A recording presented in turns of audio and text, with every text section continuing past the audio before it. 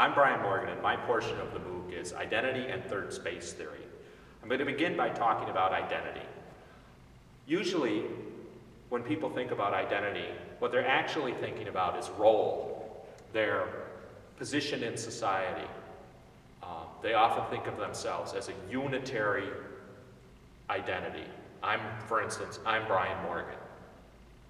And that's all I think about. But in reality, if I think about it further, I'm Brian Morgan father, Brian Morgan son, Brian Morgan brother, Brian Morgan professor, Brian Morgan professor at a very particular place, at a particular time.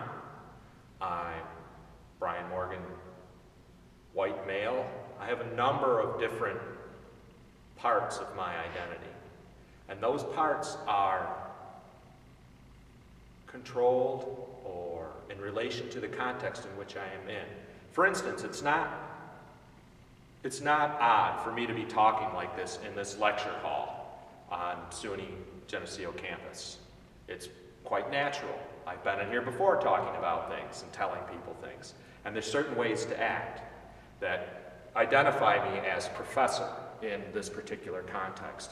If I go to another place, for instance, uh, a church or a bar or the grocery store, and I start to talk like this, and I have a whiteboard, and I start writing on it things like, the vegetables in aisle one are very fresh, and things like that. It's odd, it doesn't make sense, or if I begin to talk about the topics I'm talking about here. So we can see that identity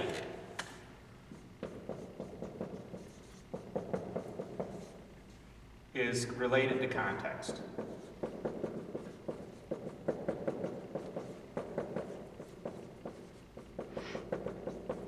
So previously, where this was Brian, when we first started talking about it, and then it went to Brian, father, son, brother, professor, white male. we now think about identity as being a fluid, a more fluid thing. So this is, first we have this very static identity that goes with me wherever I am, and it's always the same. And then we have this, well, no, my identity is made of these parts.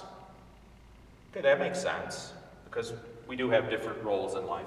But if I think about it further, it's Brian Morgan here.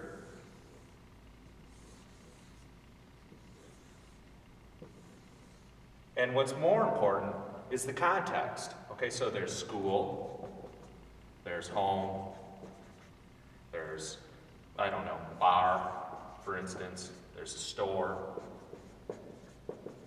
and so no matter what, where I am, um, there still retains a certain Brianness, but my identity is very fluid and changes. So I'm not really, we're not really one identity. We're made up of a multitude of identities tied to context.